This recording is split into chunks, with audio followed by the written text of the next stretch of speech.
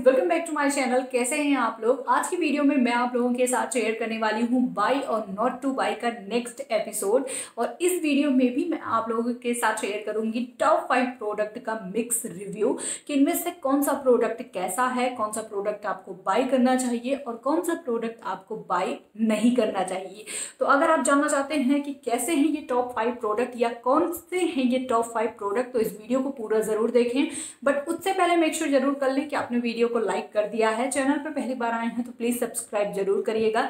Subscribe के साथ साथ बेल आइकन को भी हिट कर लें जिससे आपको मेरे वीडियोस के नोटिफिकेशन टाइम से मिल जाए और आप मेरा कोई भी वीडियो मिस ना करें। तो चलिए वीडियो स्टार्ट करते हैं। वीडियो स्टार्ट करने से पहले मैं कुछ बातें क्लियर करना चाहूँगी। बाई और नॉट टू बाई के आई थिंक तीन वीडियो, तीन एपिसोड में ऑलरेडी आप लोगों के साथ शेयर कर चुकी हूँ। तो अगर आपने उन्हें नहीं देखा है तो उनके लिंक आपको नीचे डिस्क्रिप्शन बॉक्स में मिल जाएँगे। पॉइंट टू आज के वीडियो में मैं जो रिव्यू आप लोगों के साथ शेयर करने वाली हूँ, वो टोटली मेरे एक्सपीरियंस पर डिपेंड करते हैं कि मुझे कौन सा प्रोडक्ट कैसा। और अगर इनमें से कोई सा भी प्रोडक्ट आपको नहीं पसंद है या आपको बहुत ज़्यादा पसंद है तो प्लीज़ माइंड मत करिएगा, क्योंकि हर प्रोडक्ट के साथ एक्सपीरियंस जो होता है, वो सबका अलग अलग होता है। और पॉइंट नंबर थ्री अगर इनमें से कोई सा भी प्रोडक्ट आप बाई करना चाहते हैं तो आप इन्हें ऑफलाइन भी बाई कर सकते हैं और ऑनलाइन भी बाई कर सकते हैं। तो आई थिंक मैंने सारी बातें क्लियर कर दी हैं, हम स्टार्ट करते हैं हमारे वीडियो को। और एक एक करके मैं सारे प्रोडक्ट के रिव्यू आप लोगों के साथ शेयर करूँगी। तो सबसे पहला प्रोडक्ट है पॉन्स की ये मॉइस्चराइजिंग क्रीम एक्चुअली ये क्रीम पूरी फिनिश हो चुकी है और एमटीज़ में ये जा चुकी है बट मैंने सोचा कि पहले एमटीज़ में डालने से पहले मैं इसका रिव्यू आप लोगों के साथ शेयर कर देती हूँ। तो इसका जो प्राइस है वो आई थिंक इरेज हो चुका है बट इसका प्राइस नाइन्टी मतलब अंडर हंड्रेड रुपीज़ है बट मुझे इसका एग्जैक्ट प्राइस नहीं याद है। ये एक कोल्ड uh, क्रीम है जो कि विंटर के लिए परफेक्ट है। वैसे इस टाइम भी आप इसे इजीली यूज़ कर सकते हैं क्योंकि इस टाइम भी वेदर जो है वो बहुत ज़्यादा अजीब है। अगर आपकी स्किन ऑयली है तो ये क्रीम आपके लिए नहीं है। लेकिन अगर आपकी स्किन ड्राई है या कॉम्बिनेशन है या नॉर्मल है तो आप इस क्रीम को इजीली यूज़ कर सकती हैं। जहाँ तक रही बात मॉइस्चराइजेशन की तो जैसा ये क्लेम करता है कि ये एक मॉइस्चराइजिंग कोल्ड क्रीम है, ये उसी के अकॉर्डिंग काम मॉइस्चराइजेशन आपकी स्किन को देती है और उसे अच्छे से हाइड्रेट करके रखती है, लेकिन ऑयली या ग्रीसी या चिपचिपा ऐसा कुछ भी नहीं बनाता है। अगर मैं फाइनल वर्ड की बात करूँ कि ये प्रोडक्ट या है या ना है तो डेफिनेटली ये प्रोडक्ट या है, आपको ट्राई ज़रूर करना चाहिए। आई नो आप में से बहुत सारे लोग ऑलरेडी इसे ट्राई कर चुके होंगे क्योंकि विंटर के लिए ये ऑलमोस्ट सभी की पसंद होती है क्योंकि विंटर में आ, हमारी स्किन जो है ना वो बहुत ही ज़्यादा ड्राई हो जाती है। तो विंटर के लिए परफेक्ट है ऑल स्किन टाइप वाले यूज़ कर सकते हैं लेकिन जहाँ तक रही बात समर में तो ऑयली स्किन वाले नहीं यूज़ कर सकते हैं बाकी तो सभी लोग यूज़ कर सकते हैं। अब बारी आती है हमारे नेक्स्ट प्रोडक्ट की। तो नेक्स्ट प्रोडक्ट है बायोटिक से और ये है इनका bio winter cherry rejuvenating body nourisher या बॉडी लोशन और इसका जो प्राइस है वो है वन ट्वेंटी रुपीज़ जिसमें आपको वन ट्वेंटी एम की प्रोडक्ट क्वांटिटी मिलती है। अगर मैं इस बॉडी लोशन की बात करूँ तो मुझे ऐसा लगता है कि ये ऑयली स्किन को ज़्यादा पसंद आएगा क्योंकि ये लिक्विड फॉर्म में है और इसका जो मॉइस्चराइजेशन का लेवल है वो काफ़ी अच्छा है। आ, मेरे कहने का ये मतलब है कि ये बहुत ज़्यादा हाइड्रेशन नहीं प्रोवाइड कराता है लेकिन अगर आपकी ऑयली स्किन है तो आपको ये बॉडी लोशन पसंद आएगा।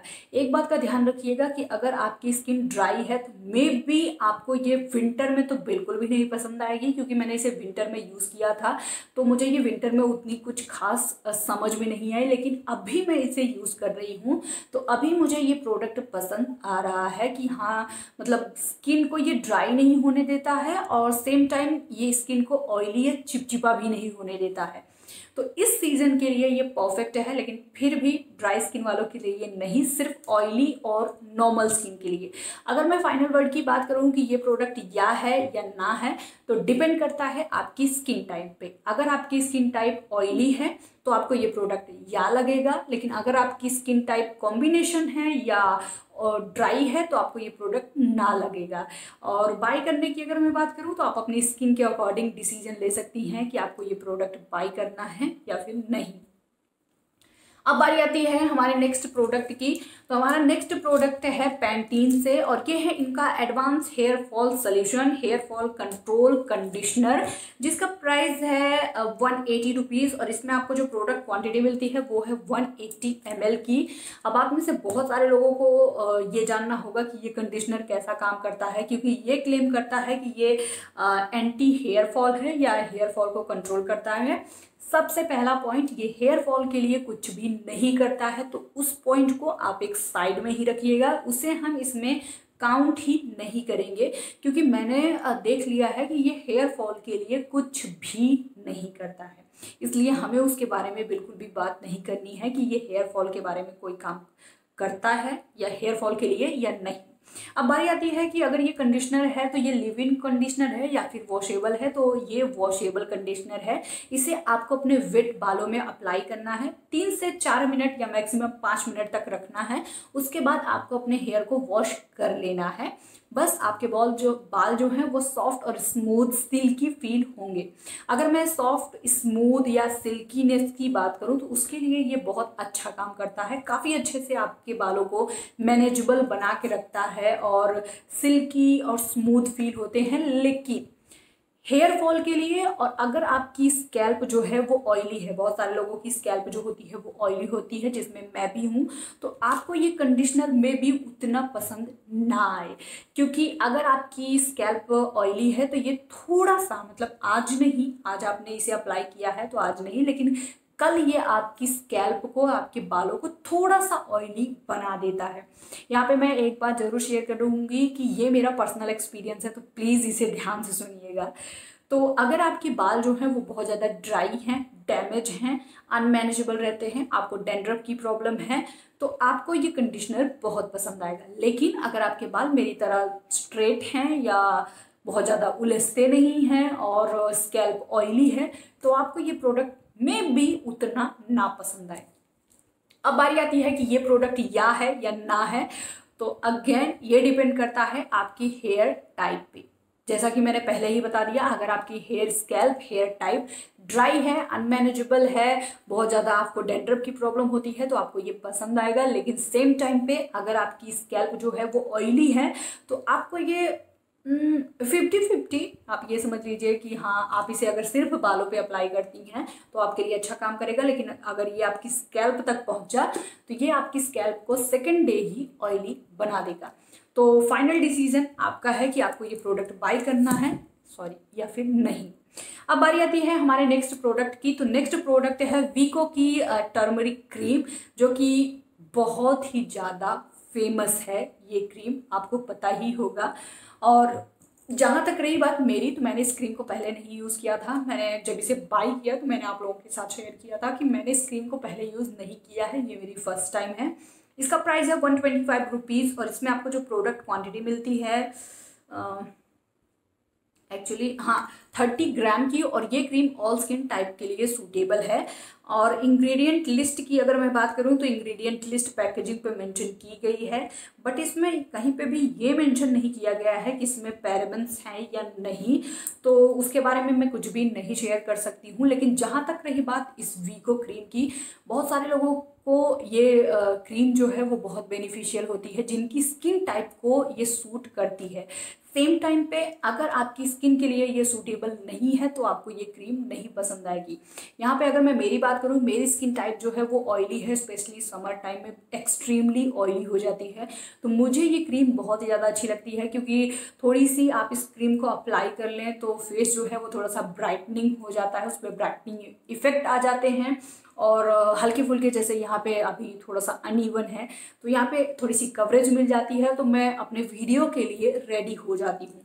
और सेम टाइम पे बहुत सारे लोगों को ये भी प्रॉब्लम है कि अरे, ये बहुत ही घटिया क्रीम है, ऐसी है, वैसी है।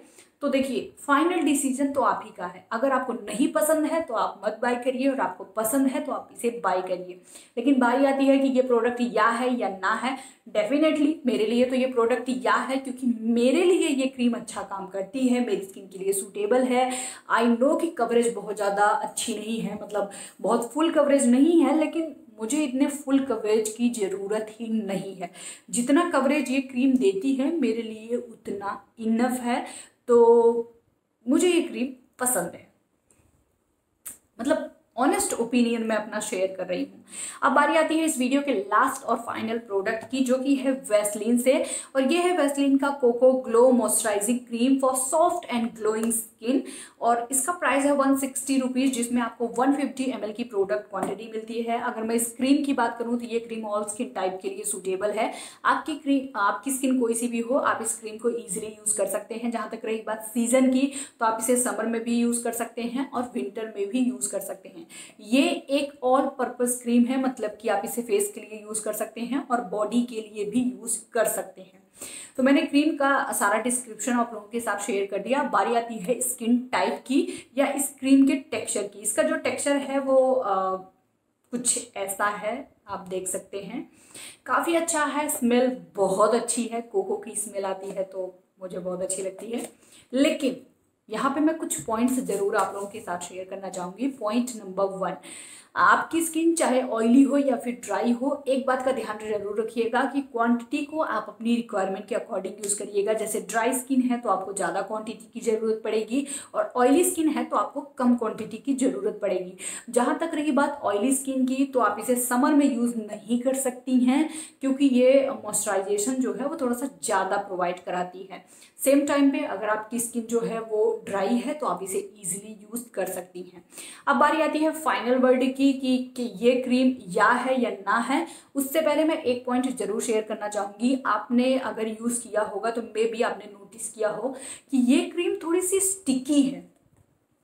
स्टिकी से मेरा सेंस ये है कि जब भी मैं इसे अपनी बॉडी पे या अपने फेस पे अप्लाई करती हूँ तो मेरे आ, हाथ जो हैं ये फिंगर जो हैं ये थोड़े से स्टिकी फील होते हैं मुझे। मतलब मुझे थोड़ा सा वियर्ड लगता है जो कि मतलब जैसे कुछ स्वीट हमारे हाथों में लग जाता है तो हमें थोड़ा सा वियर्ड लगता है। एग्जैक्ट वैसे ही फीलिंग मुझे आती है जब भी ये क्रीम मेरे हाथ में लगी रहती है।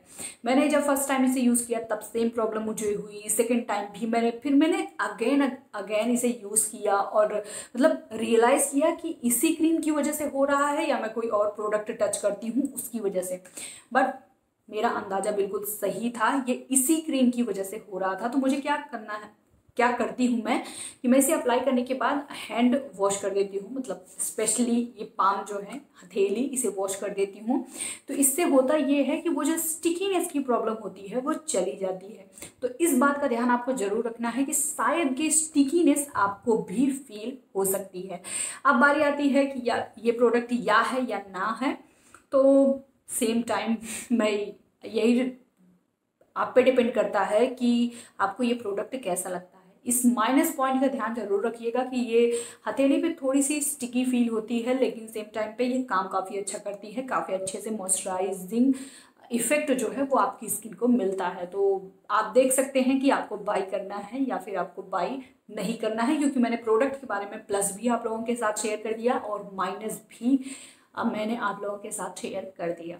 तो ये था मेरा आज का वीडियो। आई होप ये वीडियो आप लोगों के लिए हेल्पफुल रहा हो। आपको ये वीडियो कैसा लगा कमेंट करके ज़रूर बताइएगा। वीडियो अच्छा लगा हो, आपके लिए हेल्पफुल रहा हो तो इसे लाइक और शेयर करना बिल्कुल भी ना भूलें। चैनल पे पहली बार आए हैं तो प्लीज़ सब्सक्राइब ज़रूर करिएगा। सब्सक्राइब के साथ साथ बेलाइकन को भी हिट कर लें, जिससे आपको मेरे वीडियोज़ के नोटिफिकेशन टाइम्स मिल जाए और आप मेरा कोई भी वीडियो मिस ना करें। मैं मिलती हूँ आपसे नेक्स्ट वीडियो में। तब तक के लिए be happy and take care bye